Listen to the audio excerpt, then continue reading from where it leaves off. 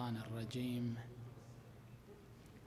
بسم الله الرحمن الرحيم. الحمد لله رب العالمين. وصلى الله على سيدنا محمد وآله الطاهرين.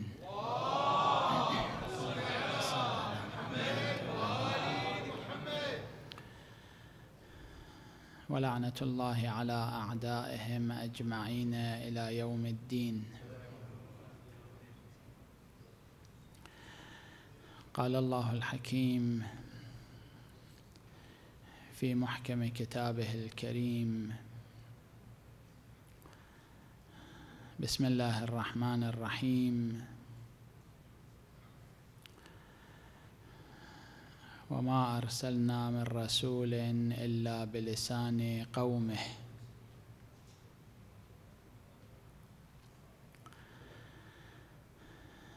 صدق الله العلي العظيم.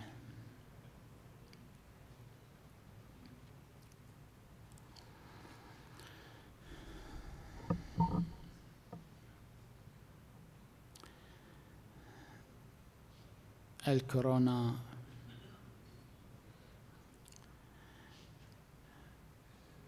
كلمة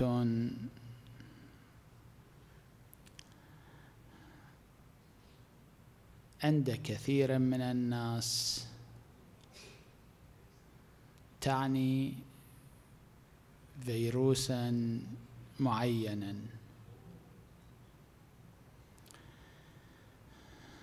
لكن هذه الكلمة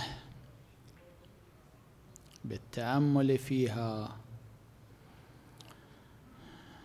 لها بعد أو أبعاد أكثر من مجرد فيروس.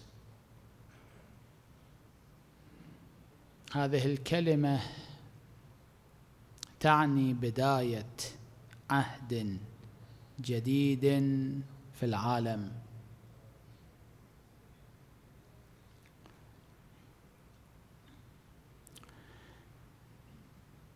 الأنظمة العالمية. بالضبط كالبشر. الشخص يولد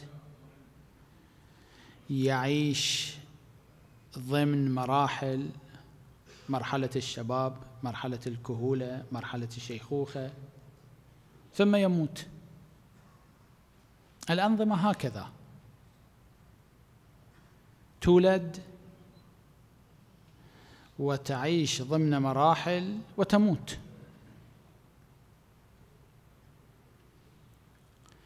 خلال هذه المئة سنة الأخيرة خلال هذا القرن الأخير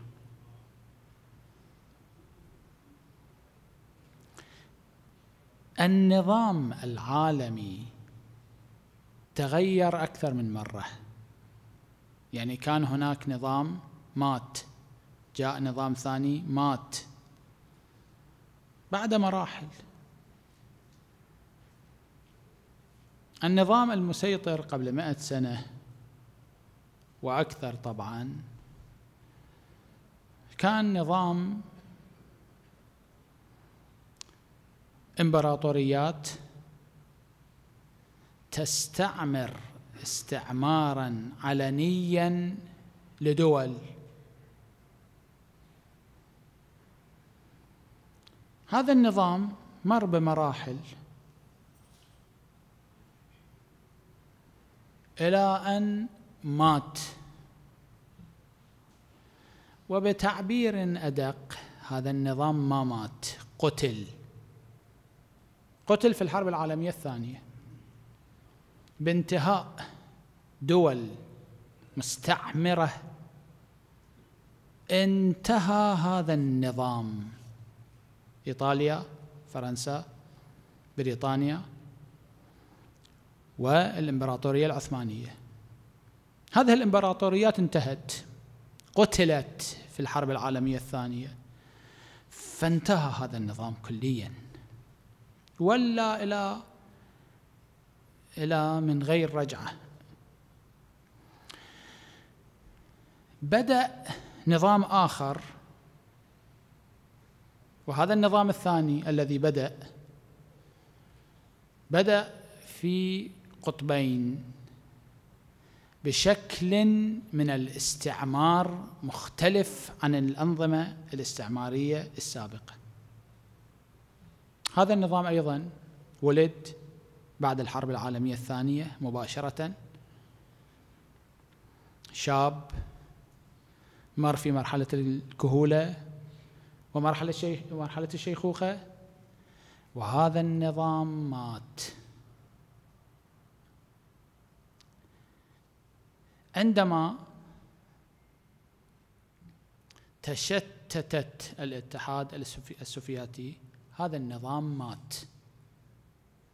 عندما أقول هذا النظام هذا النظام لعل أكثر القضايا الكبرى في ذلك الزمن في تلك الفترة كانت تخضع لهذا النظام. النظام الذي كان له قطبان. هذا النظام مات في سنة ألف ونتذكر بعضنا نتذكر أنا أتذكر بعض تفاصيلها أيضا. سنة ألف وأربعمائة واثنتي عشرة هجرية. هذا النظام مات. بعد سنتين بالضبط ألف وأربعمائة وأربع عشرة هجرية. ولد قطب آخر ما كان بالمستوى. الاتحاد الأوروبي.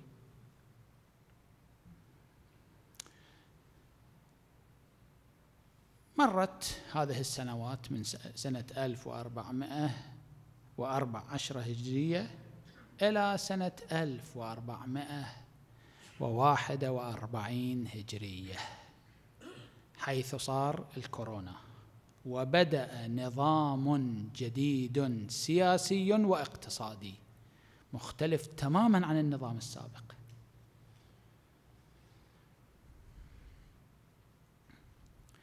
هذا بإيجاز جدا باختصار في هذه المئة سنة الأخيرة. نترك هذا الموضوع لنعود إليه. الدنيا الأفراح فيها معجونة بالأتراح بالأحزان. الانتصارات في الدنيا مزيجة بالتأكيد مع الخيبات.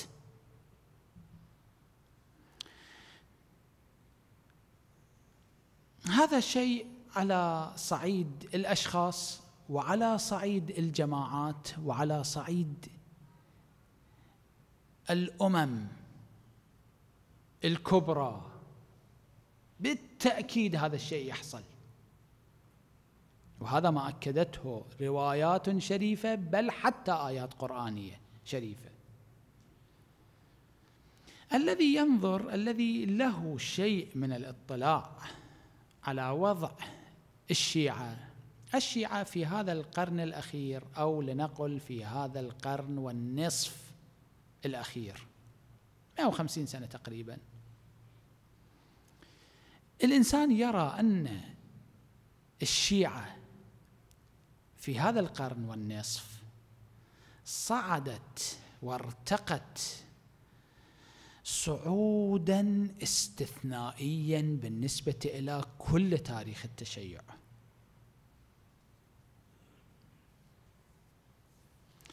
طبعا هذا لم يكن إلا بمنة من الله سبحانه وتعالى. ونظرة من مولانا وسيدنا بقية الله الأعظم أرواح العالمين له الفداء.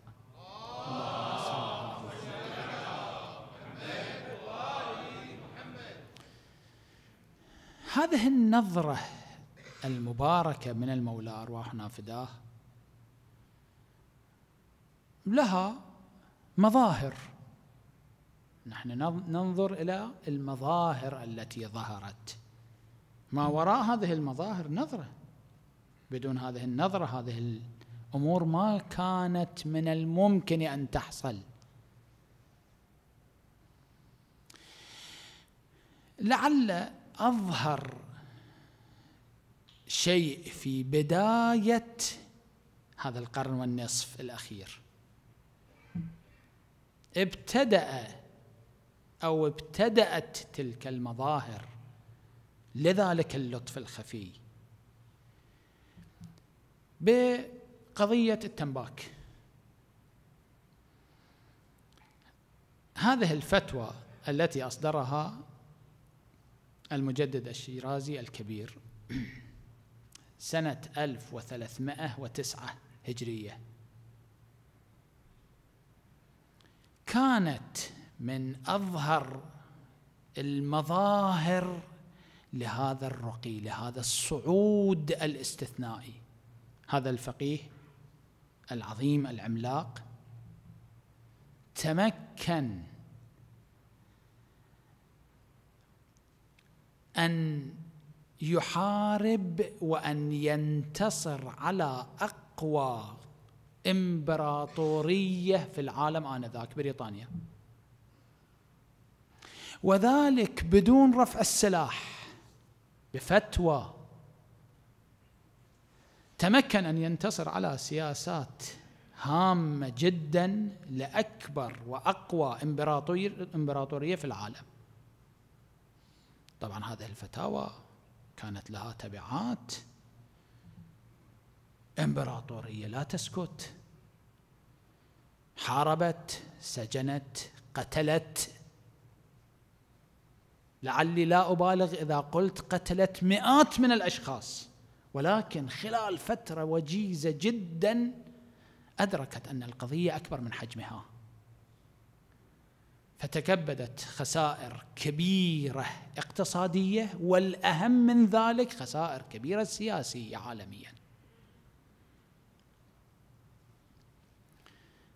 وتراجعت. الإمبراطورية تراجعت. مظهر عجيب كان لقوة ما كان العالم يتوقع أن تكون هكذا قوة للشيعة في ذلك الزمن. بعد أقل من ثلاثين سنة بعد تسعة وعشرين سنة بالتحديد ظهر مظهر ثاني قوي أيضا باتجاه الإمبراطورية نفسها في سنة 1338 هجرية في قضية ثورة العشرين. أيضا خسارة كبيرة. هذه المرة دخلت الإمبراطورية الكبرى آنذاك دخلت في حرب حرب سلاح. وكان جيشها مئات الملايين في العالم. وأسلحتها أكثر الأسلحة تطورا في ذلك الزمن. مقابل خمسة ملايين. الشعب كله خمسة ملايين عراقيين. آنذاك العراقيون كانوا خمسة ملايين رجالا ونساء وأطفالا. وخسرت في هذه المعركة خسارة ثانية كانت لها دويها في العالم. الإمبراطورية تخسر. تخسر في حرب سلاح فاضطرت أن تتراجع مرة أخرى. قلت الأفراح في الدنيا عجينة بالأتراح. بعد ست سنوات من هذا الانتصار الثاني المسلمون صدموا بفاجعة كبيرة. فاجعه هدم مراقة الأئمة الطاهرين عليهم الصلاة والسلام في البقيع. هذه الفاجعة التي صدمت كل المسلمين شيعة وغير شيعة.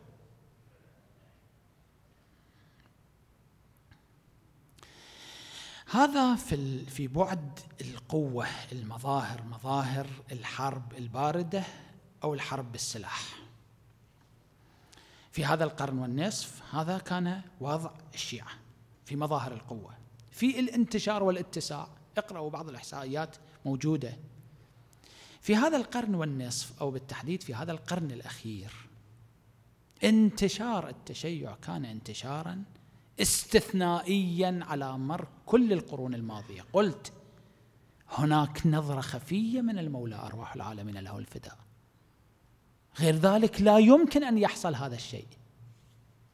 في هذا القرن الأخير اقرأوا الإحصائيات الإحصائيات الرسمية الإحصائيات شبه الرسمية التي صدرت التي فيها هذا الشيء الذي أذكره لكم. كل الأديان الكبيرة.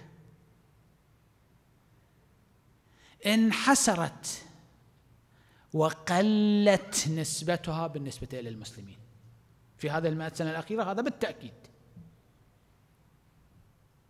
الأديان عددها يكثر ولكن نسبتها قلت بصالح المسلمين. نسبة المسلمين في هذه المائة سنة في صعود.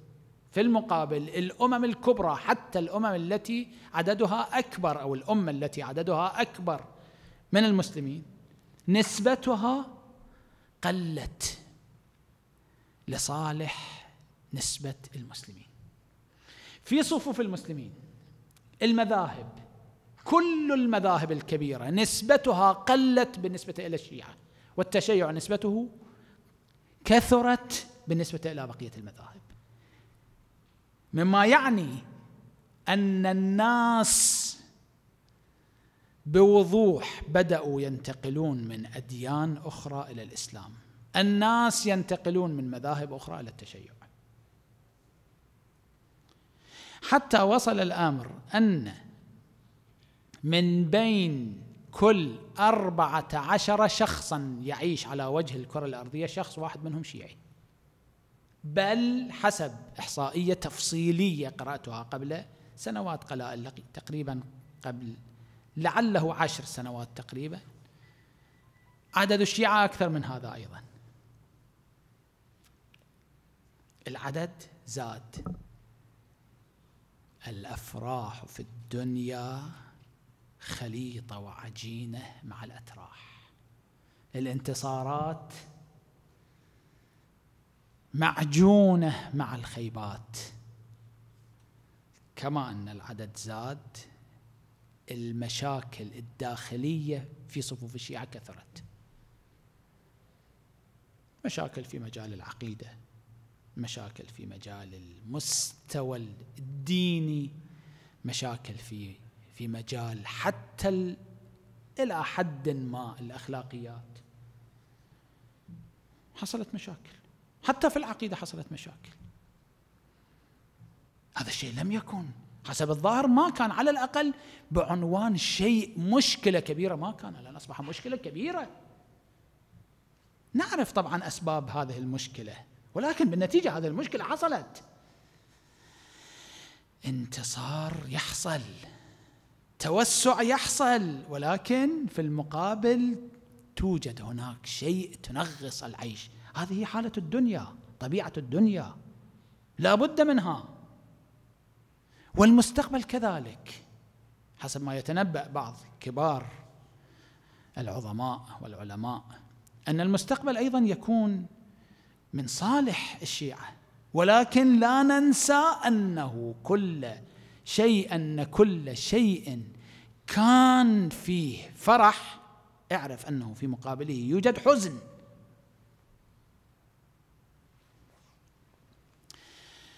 يوم غد. يصادف مئوية هدم مراقد الأئمة الطاهرين عليهم الصلاة والسلام في البقيع. يعني تكتمل مئة سنة بالضبط من هذه الفاجعة وهذه الجريمة الكبيرة التي ارتكبت.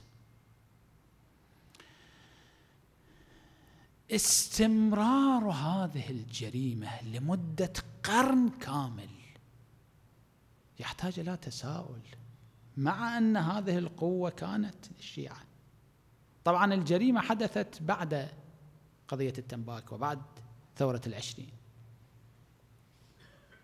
وكان هناك تخطيط لحصول مثل هذه الجريمة.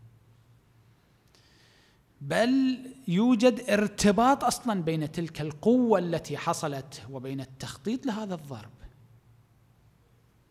ولكن بالنتيجة هذه الجريمة ارتكبت ارتكبت وانتهت؟ لا استمرت مئة سنة مع أن أكثر المسلمين لا تقريبا كل المسلمين باستثناء فئة قليلة بقية فئات المسلمين ضد هذه الحركة.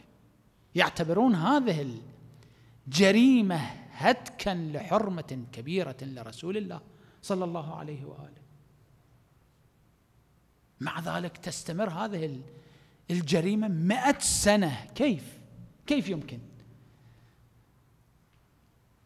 أكثر المسلمين شيعة وغير شيعة بل كل المسلمين تقريبا باستثناء هذه الفئة القليلة يعتبرون هذه إهانة إهانة لرسول الله صلى الله عليه وآله لا في بلد نصراني في بلد مسلم.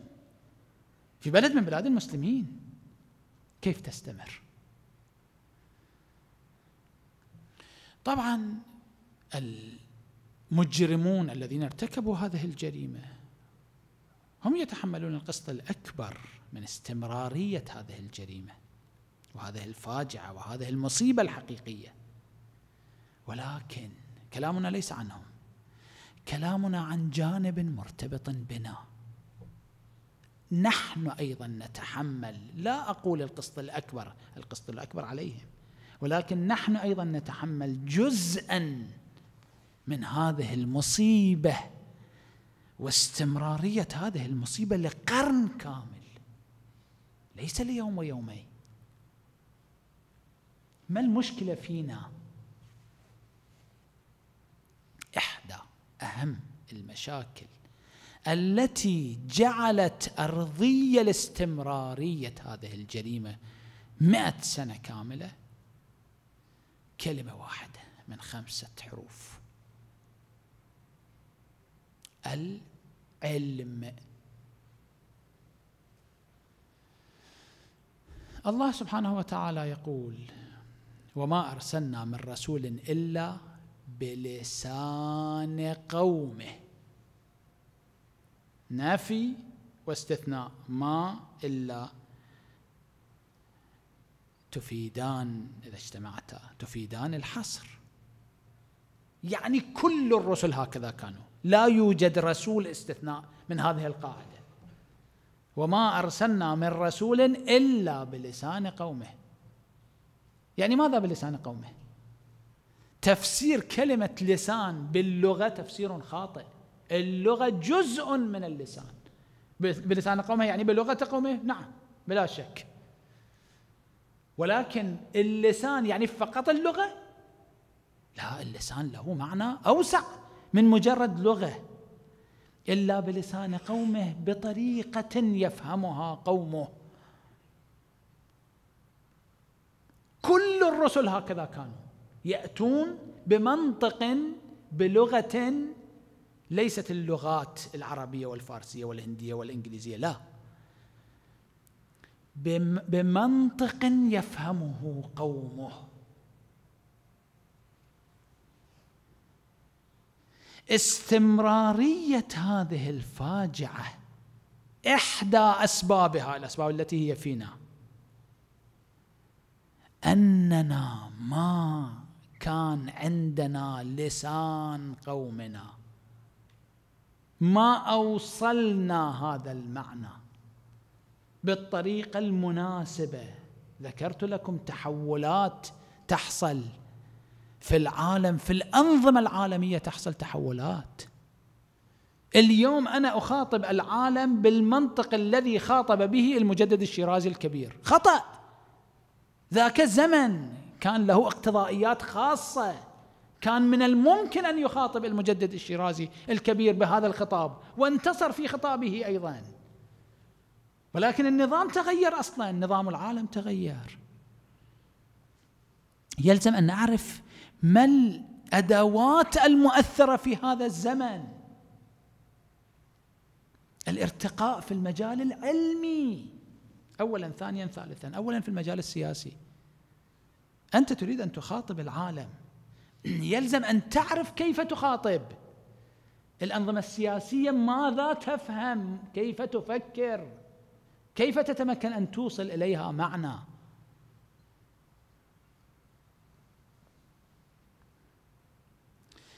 حتى أفهم كيف أتكلم معهم وكيف أوصل لهم.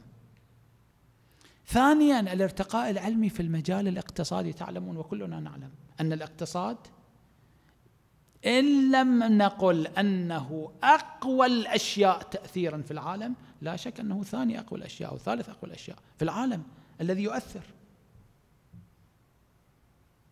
الارتقاء العلمي في المجال الاقتصادي. ثالثا الارتقاء العلمي في المجال الإعلامي. يا أخي تحدث بلسان نفسك. أن تكن حامل فكرك. اليوم من يتحدث بلسان الشيعة؟ حكومات. أبعد ما تكون عن التشيع. حكومات لها سياساتها هي وراء سياساتها. أصلا لا تفكر في الشيعة. حكومات لغتها لغتها لغة لغة عادية. لغتها أهم عندها من البقيع ومن مئة شيء. من مهام الشيعة مثل البقيع. أصلا لا يهمهم. هذه الحكومات تفكر أصلا في البقيع. أصلا تفكر فيما يفكر به الشيعي أبدا. تفكر في أجندة خاصة مرتبطة بها سياسات. هي التي تتحدث بلسانك أنت الشيعي. اليوم العالم عندما يريد أن يستمع إلى الشيعة يستمع إلى من؟ إلى هذه الحكومات. قلت الجريمة الكبيرة هم يتحملونها ولكن أنا أيضا أتحمل. أنا لماذا لا أنطق بلساني؟ أنا لماذا إعلامي ضعيف؟ لا أتمكن أن أوصل صوتي صوتي الذي أريده إلى العالم. أنا وأنتم نعلم أن قضية البقيع قضية هامة جدا. العالم لا يعلم. العالم لا يعلم أن الشيعة يهمهم هذا الأمر بهذه الدرجة. أصلا لا يعلم العالم. لا أقول العالم لا يعلم حتى بعض الشيعة لا يعلمون. لأن صوتك مصادر من قبل جهات من قبل حكومات. أنا عندما ما كنت بمستوى الإعلام العالمي لا أتمكن أن أوصل صوتي. طبعا هذه الجريمة أيضا تستمر هكذا.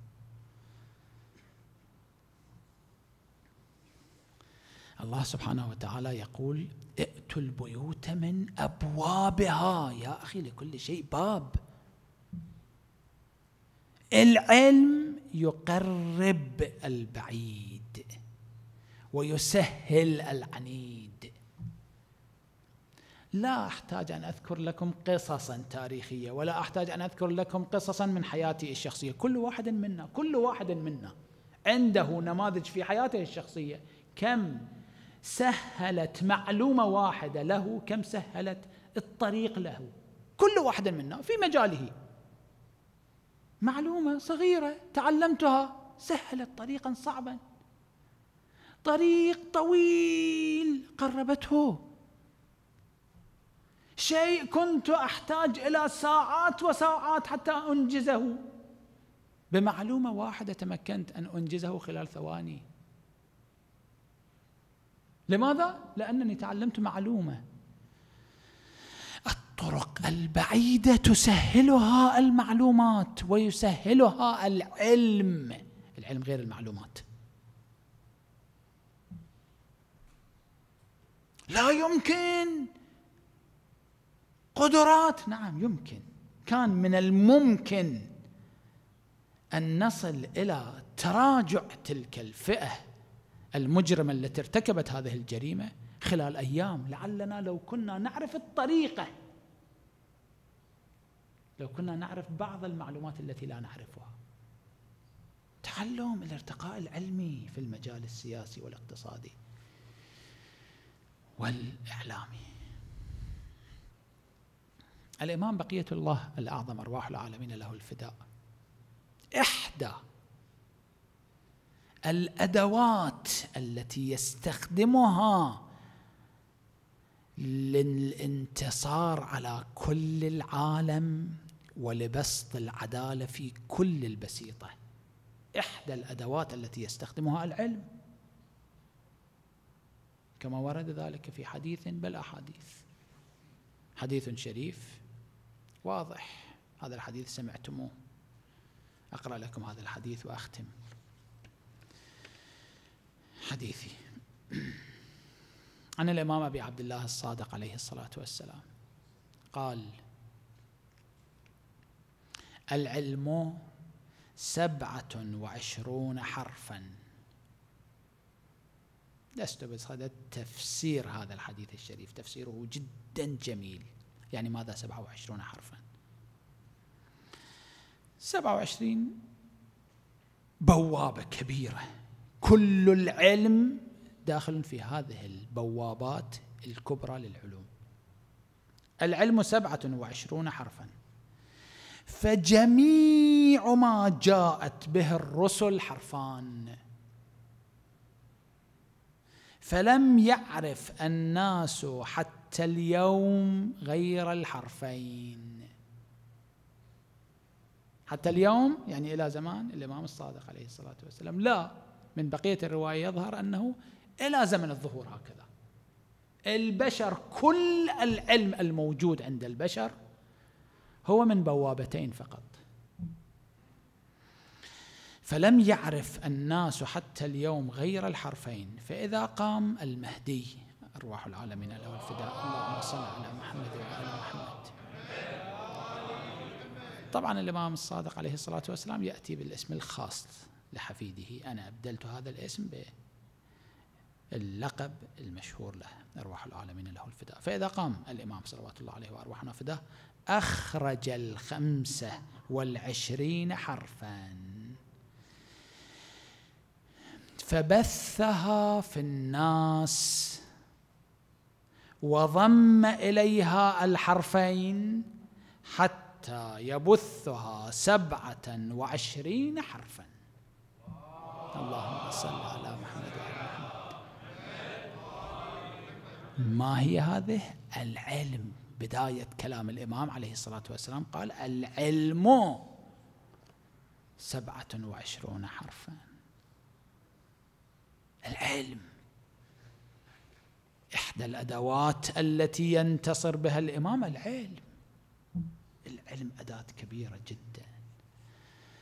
نسأل الله سبحانه وتعالى أن يجعل هذه السنة آخر سنة من هذه الفاجعة الكبيرة.